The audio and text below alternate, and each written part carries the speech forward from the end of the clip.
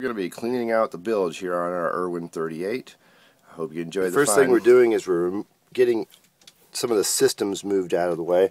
I've moved the um, the auxiliary hand pump system out of the way. I've removed the air conditioning pump out of the, out of the way. The tube that feed that drains the air conditioning. I'm sorry.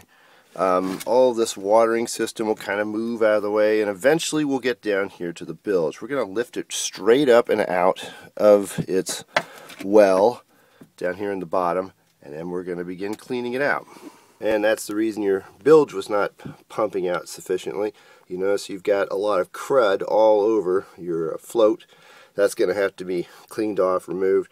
We're going to be using uh, just wet towels and Dawn dish soap and to get all this um, gunk. It's primarily soap and oils and crap from the main unit that come into it. So we're going to be cleaning all that off.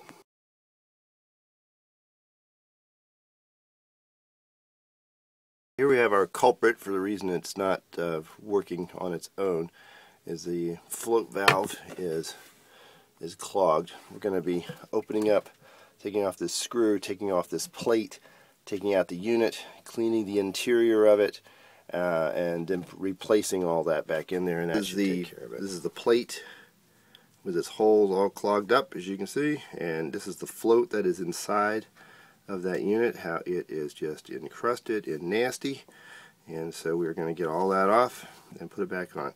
You'll notice on the tops of this particular float there is a, a line of little bumps that's going to be going down into the into the bottom of that that system that the little bumps are the down part and that is what's going to be sliding in and out of the little shaft inside and we'll be cleaning that off. And here again you're seeing the that's the shaft that that float will slide on and you can see that there is a lot of nasty stuff down in there so we're going to get down in there with our soapy water, kind of clean that out with our screwdriver, get all that material um, loosened up.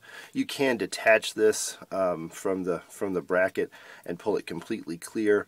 Um, we do this on a regular basis. Uh, you wouldn't notice it from this process, but um, uh, it is uh, you can do that and pull it off completely and then you have the issue of getting it just adjusted just right so it's going to pull the water from your from your bilge well um, correctly.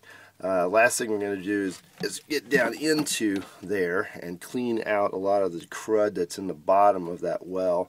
Um, get all that out of there and clean up any other debris that may be back in the in the process and, and get our get our uh, get our bilge. Right, here set. you can see the float inside. Its little ridges. That's what's going to be going um, against this plate on the back of it We've cleaned off the plate. Uh, another little safety tip, when you're removing this, make sure this little screw does not go down the bilge or down your sink, and uh, because you're going to very much need it later on to put it on there. Again, you're going to need you to use your screwdriver to kind of get inside the hole where a lot of the crud builds up, and that tends to be part of the problem that uh, it's not floating up on the shaft well enough. So the next thing we're going to be doing is getting back down into the hold and clean that out. I usually use a small thing of soapy water, uh, Dawn dish soap, to uh, to clean these units off and get all that um, wax and oil and everything else that goes to. You can see the bilge is back down in its well, and um, we're about to put all the other things around it, like the, the emergency pump out uh, hose. We'll go back down in there. Um, let me just show you some of the wonderful things that came out of that uh, that bilge. Again, you've got your sundry bits of junk, but um, I mean, you find all kinds of little things in here. You know that how did how did how did a little screwdriver get in there? I don't know. So it is just um, you know on this boat, the centralized bilge gets the refuse of everything that comes out. Um, so important to to clean it. I hope that lets you understand how to clean out the bilge. Basically, pull it out and clean it and put it back in. Um, not really hard to do. Uh, it's just nasty, and you've got a lot of junk down in there.